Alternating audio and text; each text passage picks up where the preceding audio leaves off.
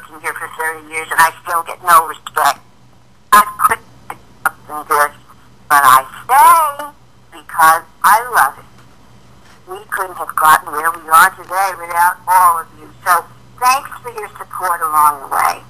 Head over to Ghostbusters.com for updates on all things Busters.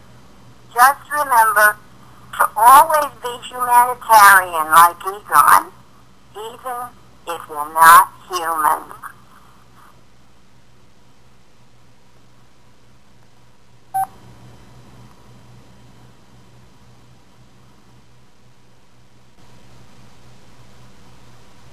Huh. Well, guess it actually works. Sort of. Although I do have a ghost problem I did want them to take care of.